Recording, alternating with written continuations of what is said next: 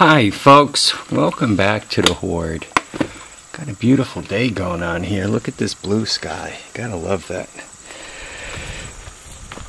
I'm back on some golf carts, um, getting the uh, G5 without the engine in it. Um,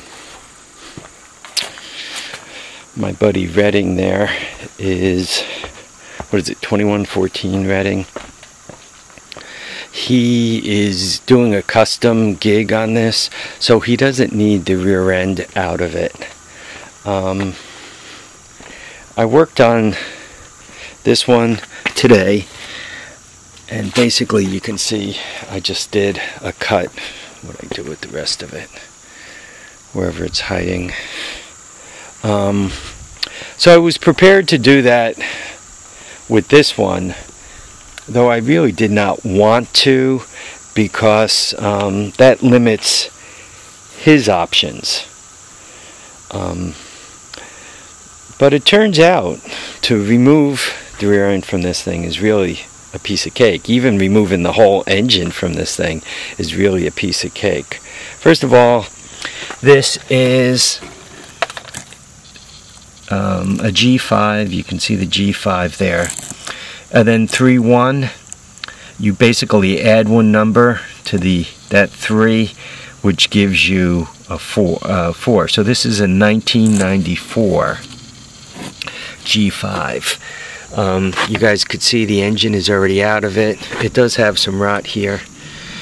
Um, but that's really not a big deal. To get the engine and tranny out of this thing really a piece of cake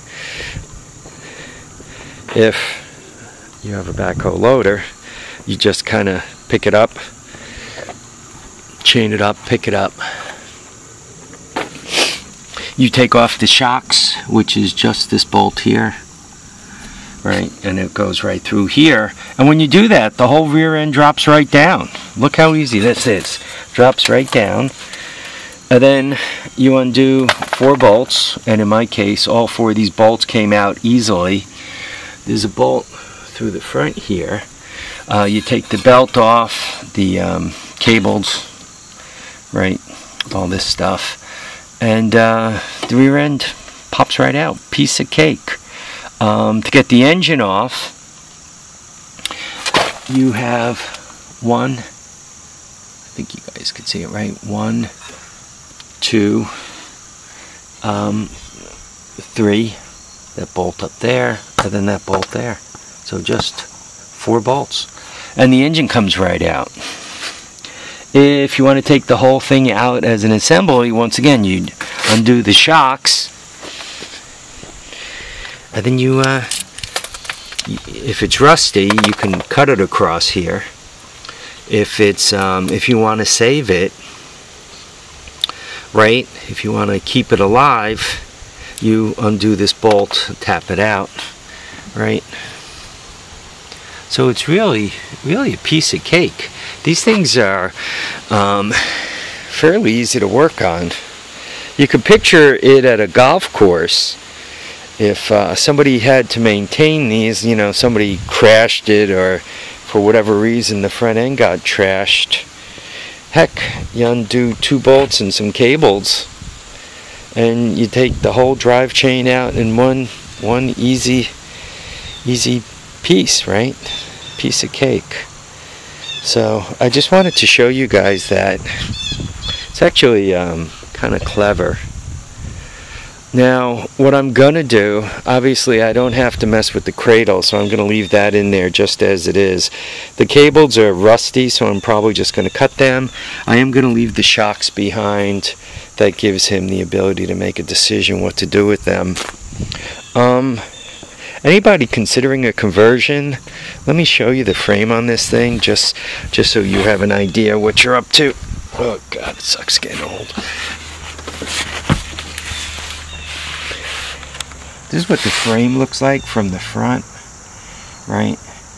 You come to here, and once again, he's got some repairs to do. And then it, it's bent, comes around out back. So all one needs to do is get a set of rails attached there you come straight back, right, right across here. Um, you hook right back up to there and you make a decision once again whether you want the rear end and a cradle in it that's moving or not moving.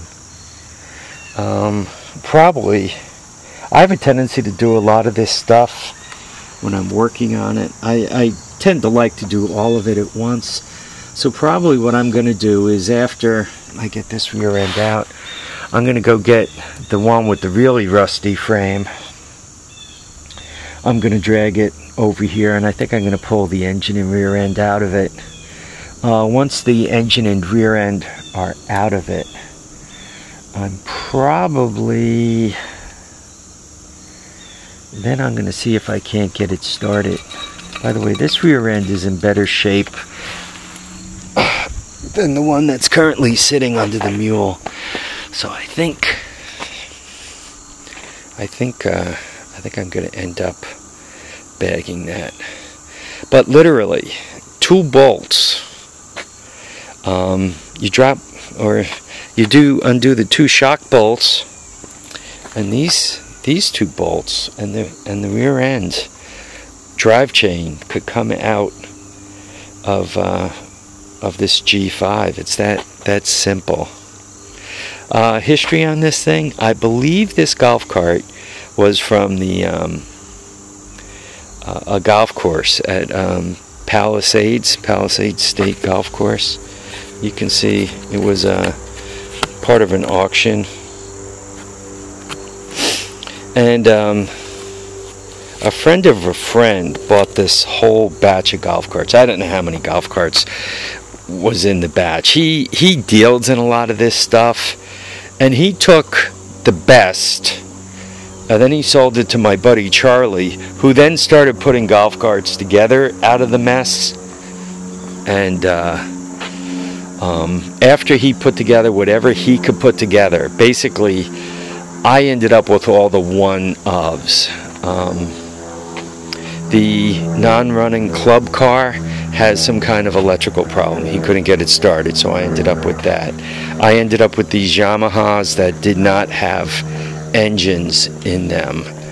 Um, I ended up with the two E-Z-GO electrics because they needed batteries. And around me, if you put $500 worth of batteries into a golf cart, and if unless it's really really pretty, you got like a $800 golf cart. And uh, and once again, you got to hope it works. So maybe not even 800, more maybe more like 650s. So then you got to hope it works. So you made a, a very big investment, and you might not get any return out of it. So um, that's kind of how I ended up with the batch of stuff I did. This mule also is from an auction. It came from the Dutchess County auction. All right, folks, I want to thank you all for watching and commenting and subscribing. Remember to keep your feet down, keep your head up, and please, please get out there and enjoy all your days. Bye now, folks.